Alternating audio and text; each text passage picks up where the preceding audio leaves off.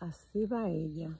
Ella la planté en esta mata de guanábana. La puse aquí en agosto 24. Eh, después de ahí, mira, ella trae ese brote, esa su vara floral aquí. Miren cómo van sus raíces. Ahora le estoy regando un poco, pero está echando raíces encima de raíces. Eh, la estoy rociando para echarle un poquito de vitamina B1. Miren cómo está esa raíz, echando subraíces más arriba de esa. Miren, esa se pegó a la, a la mata ya y está bastante gruesa.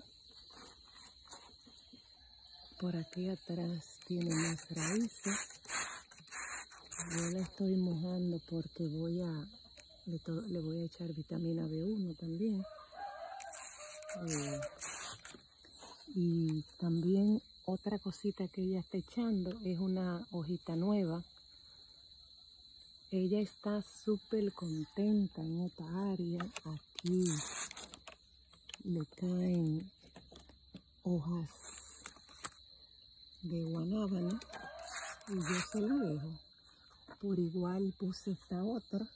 Ella tenía dos flores, se le cayó una. Eh, tiene una super vara. Miren qué larga.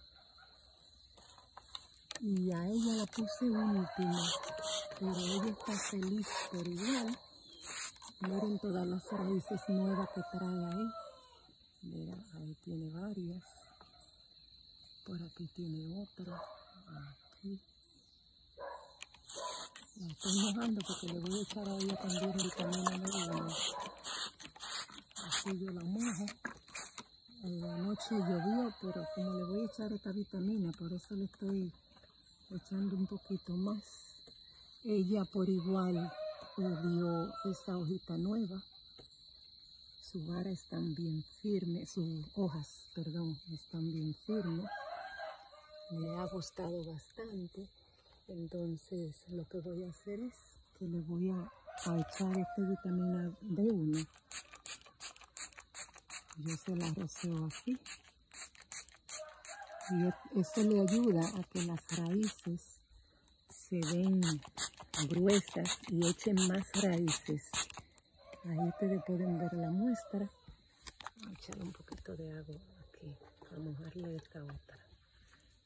Está, ella está, como está debajo de la hoja, eh, le da, se le dificulta un poco más mojarse. Yo le roceo la vitamina B1. Es temprano en la mañana. Y como está debajo de la, como la protege la, la planta de guanábana, por eso está ella tan hermosa. Así yo la, la mantengo y pueden ver qué fácil es. Aquí yo le puse un poquito de fleco de coco. Miren cómo están esas raíces de bella. Entonces aquí ahora voy a echar más. Esta es la que está arriba. Miren cómo sale esa raíz. Y por igual estas otras.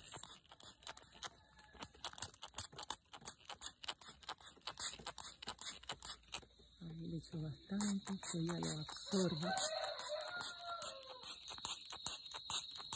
Y así la mantengo. Esto yo se lo he hecho una vez a la semana, a veces dos veces, como sobre todo si la riego que está bien caliente, que hay que regarla más, pues se la he hecho dos veces a la semana y, y como ella tenía pocas raíces también, por eso me preocupé un poquito más. Y esas otras que tienen varias raíces, pues para que se mantengan sus raíces bonitas y fuertes. Entonces esta no le he querido cortar la vara eh, porque la planta está bonita. Pero a ver qué pasa, si da hijos, si no da hijos, si se comienza a secar, entonces se la corto.